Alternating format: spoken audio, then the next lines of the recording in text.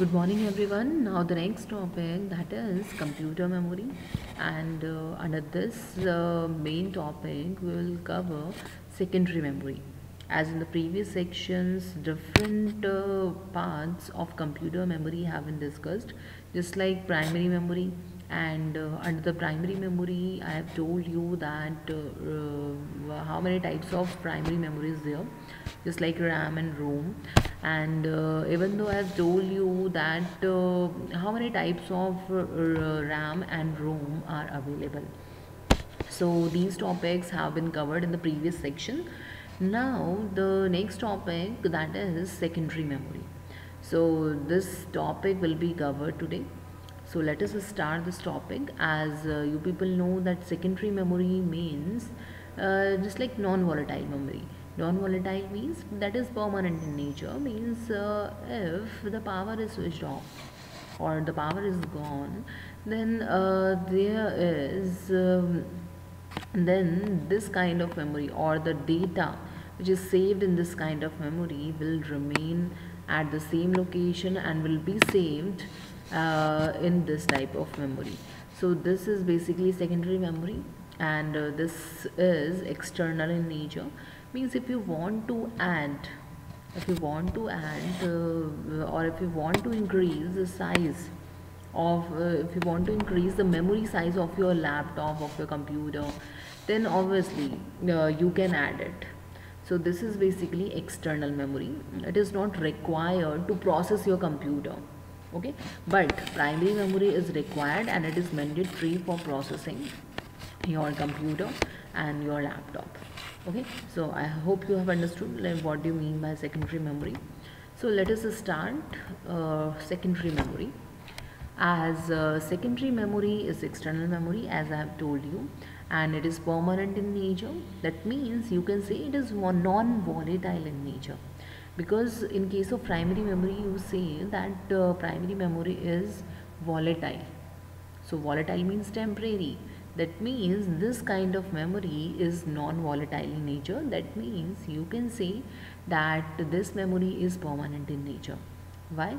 Uh, because uh, the data which you save in secondary memory that just like uh, in um, hard disk or pen drive so it uh, uh, it will uh, it remain or it is stored in your secondary memory devices until and unless you delete that data it will be remain at the same location. Okay? So that is why you say that it is permanent in nature. So now the secondary memory is concerned with mem uh, magnetic memory.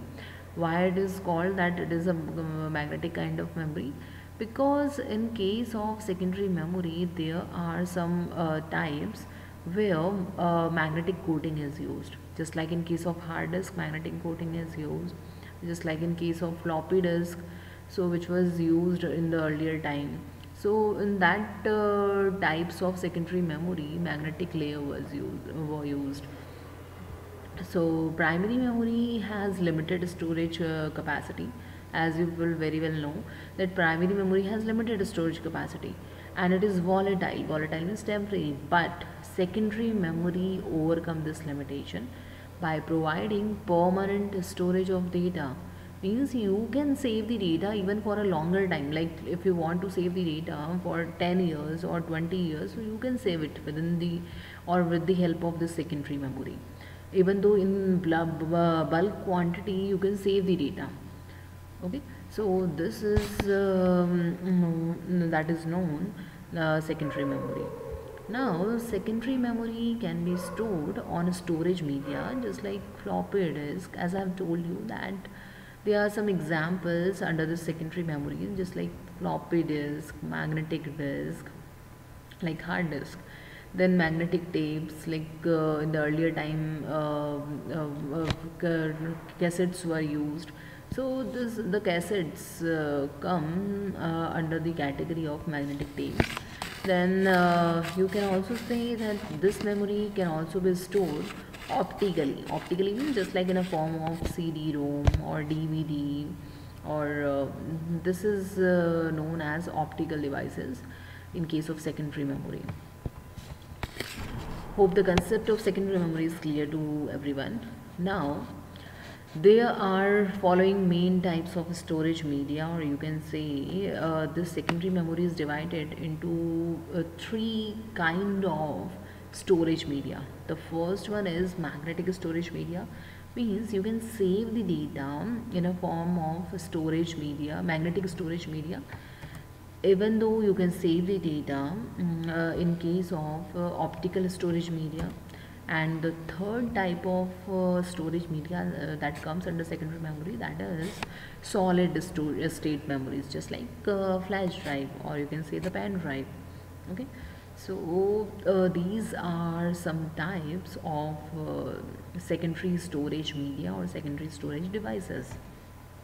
So one by one i'll tell you about uh, these types of storage media of secondary memory so let us discuss the first kind of uh, media, storage media that is magnetic storage media.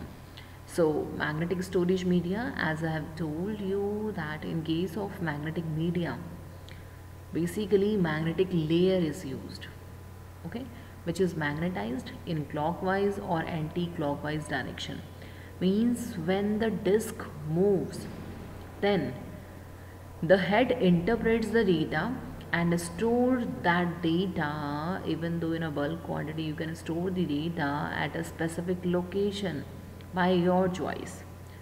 Okay? So with the help of magnetic layer you can save the data in these kind of storage media in magnetic uh, kind of storage media. So what can be the example of this magnetic storage media? Just like floppy disk as you have seen that uh, floppy disk uh, is basically coated with one uh, layer uh, like black with black color or even though with different colors. So that layer is basically the magnetic layer. In case of magnetic tapes like uh, in the earlier time uh, cassettes were used. So the, in case of that uh, reel were used. So that is one example of magnetic tapes. Okay then uh, the most commonly used magnetic storage media in nowadays is hard disk. Okay because uh, in comparison to all the magnetic storage media devices the capacity of hard disk is very much high. Even though it is used and it is flexible in nature. Okay so uh, this hard disk is most commonly used in nowadays now one by one I'll discuss the example of this magnetic storage media.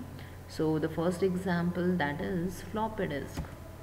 So floppy disk is a flexible disk uh, with a magnetic coating on it as I've told you and it is packaged inside a protective plastic envelope uh, I don't know whether have whether you have seen uh, this floppy disk or not but uh, um, uh, at our time uh, the this floppy disk were used in the earlier days only. After that the concept of um, hard disk came. So I'll show you the picture of this floppy disk. First of all you just have a look about the concept of this floppy disk. So these are one of the oldest type of portable storage devices and uh, that could store only up to 1.44 MB okay so this is uh, a very uh, very small uh, amount of storage. Okay 1.44 MB only means you can save the data only uh, only up to this. So this is a very uh, low size. So that is why the concept of this floppy disk have gone and um, and some different concepts have came into existence so they are not used due to very less memory storage as I have told you. So as you can see the picture of this floppy disk it looks like this. So this basically uh, this is basically the magnetic layer. Okay? So this is basically the magnetic layer with different different colors. So this is uh, what? This is uh, a picture of floppy disk in the earlier days uh, this the concept of floppy disk were used but nowadays uh, we uh, we don't use the concept of this floppy disk because the size is very low. Now the next concept that is uh, hard of hard disk. So hard disk as uh, I think uh, you all people have seen this kind of hard disk.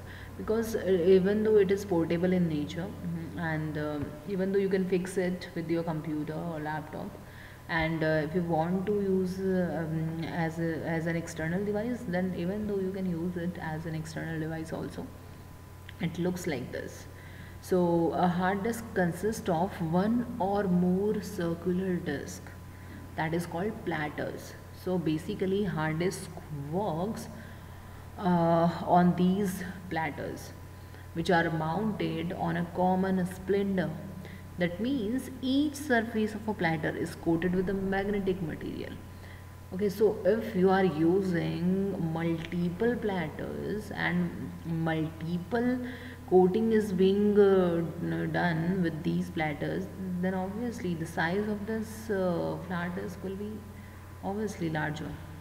You can save more data in comparison to other devices so both the surfaces of each disk are capable of storing the data except the top and bottom disk where only the inner surface is used. So the information which is recorded on the surface of the rotating disk by magnetic read and write heads. So these heads are joined to a common arm which is known as access arm. So basically this is the, uh, the working of this hard disk or um, how it works. So basically it is derived with the help of this. Uh, so just have a look and hope uh, this is clear to you people. Now the next type of uh, storage media that is optical storage media. So optical storage media means uh, you can optically store the information even though you can, you can read using a laser beam.